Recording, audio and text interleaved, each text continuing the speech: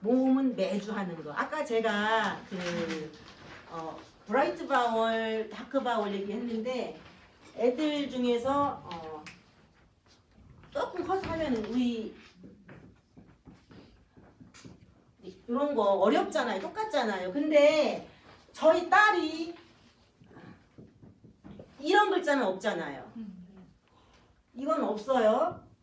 그 다음에 와는 있지만 이거 없거든요. 그런데 우리 애는 이렇게 쓰는 거 받아쓰기 하는데 자기 귀에는 우와 우와 똑같은 거예요. 네, 그러니까 아, 지금 8학년인데도 그렇게 일기장 검사할 때 보면 너무 부끄러울 정도예요. 근데 왜 그런가 생각을 해봤더니 dark vowel, bright vowel 개념이 딱 머리에 와 있으면 헷갈릴 때 아.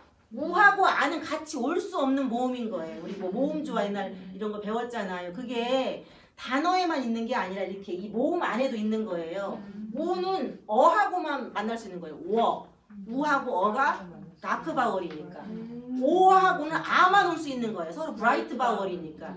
근데 이거를 애들한테 가르쳐 주실 필요는 없어요. 왜냐면 너무 어리니까. 근데 선생님들이 알고 계시면 어느 땐가 애들이 질문을 했을 때 왜 이게 우아는 안 되는지를 설명을 해줄 수가 있어야 되잖아요. 그러니까 항상 브라이트 바월은 나중에 격 이중 모음이 돼도 이렇게 된다는 거 그거 알고 계시면 됩니다.